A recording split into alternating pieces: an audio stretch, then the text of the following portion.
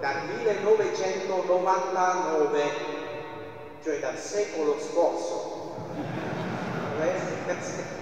e quindi, quindi ecco, ma del resto potete seguire il mio italiano, capite il mio italiano? Sì? Se no posso parlare vietnamita anche. Chúc mừng ngày lễ Thánh Phaolô. Buona festa di San Paolo. Questa settimana. Prima la settimana della conversione di San Paolo, la festa del collegio, poi la, la, la settimana dell'unità dei cristiani, e preghiamo proprio anche per l'unità dei cristiani. Ma poi anche vi dico una cosa forse che non sapete, è che la settimana della festa del Beato Paolo Manna, questo il fondatore della Pontificia Unione Missionaria, di cui sono indegnamente segretario generale adesso. Lui è stato il fondatore e il primo segretario generale della Pontificia Unione Missionaria. Ha fondato per che cosa? Per suscitare, per promuovere lo spirito missionario tutti i sacerdoti del suo tempo, cento anni fa ha fondato nel 1916 perché vedeva che i parroci, i sacerdoti in Italia in quel tempo pensavano solo alle loro parrocchie, si chiudono gli occhi così, non pensavano alla Chiesa universale. Per questo ha voluto fondare questa pontificia unione missionaria che si chiamava prima Unione Missionaria del Clero, perché voleva suscitare in tutti i sacerdoti uno sguardo più universale della missione della Chiesa. La missione non si limita solo ai problemi nella parrocchia o nella diocesi, ma della del mondo intero. Cento anni sono passati, ma qualcosa è cambiato. Eh, I sacerdoti pensano sempre ai loro problemi, eh, parrocchie, diocesi, dicono, io dico i sacerdoti fuori, eh, qui, qui presenti, tutti i santi qui, eh, già missionari, va bene? E quindi siete proprio già santi ma voglio sottolineare il motto che il beato Paolo Manna ha voluto per la Pontificia Unione Missionaria. Tutta la Chiesa per la conversione di tutto il mondo. Tutta la Chiesa per la conversione di tutto il mondo e grazie alle attività, ai pensieri di padre Paolo Manna, il Concilio Vaticano II,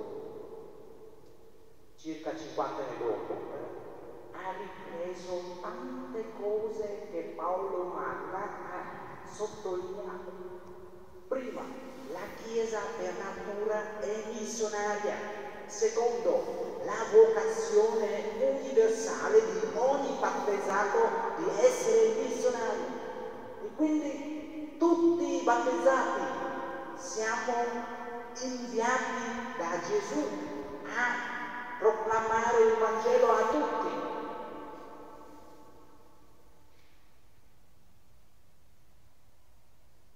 Tutti noi battezzati. Qui c'è qualcuno non battezzato? Qui? Siete tutti battezzati, vero? Eh, quindi siete missionari. Ma purtroppo, purtroppo, alcuni battezzati, purtroppo alcuni sacerdoti non pensano ancora a questa, questa opera dell'evangelizzazione in tutto il mondo che Gesù ha lasciato ai suoi discepoli. Andate e fate discepoli tutti i popoli. Non pensano perciò, non pregano per la missione, non offrono i sacrifici beh è la missione.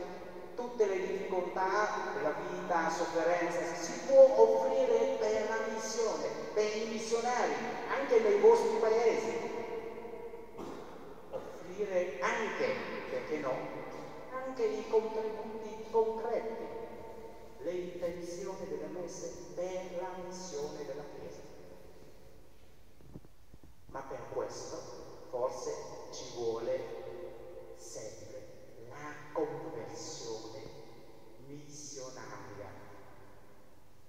sentito parlare di questa espressione? Conversione missionaria. Papa Francesco sottolinea molto. Urgente la conversione missionaria. Allora che cosa significa conversione missionaria? Vi dico una cosa.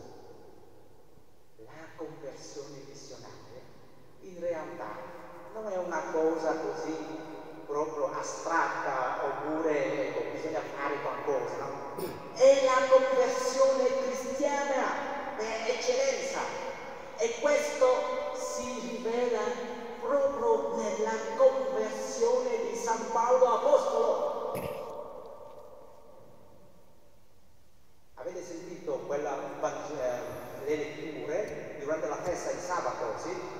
la prima lettura, la conversione di San Paolo. E cosa c'è interessante là?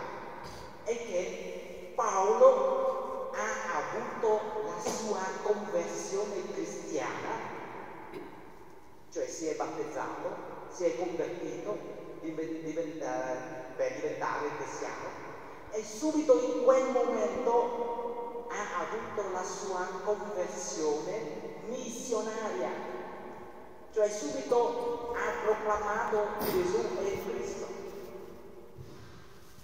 Per questo posso dire una cosa importantissima. La conversione missionaria in realtà è la pienezza della conversione cristiana. Come la nostra fede cristiana è per natura la fede missionaria. siete già santi, diventate ancora tutti San Paolo, il patrono di questo collegio. Per questa conversione missionaria, conversione cristiana, dico una cosa di più su questa parola conversione. Tutto comincia dalla prima fondamentale predicazione di Gesù all'inizio delle sue attività pubbliche.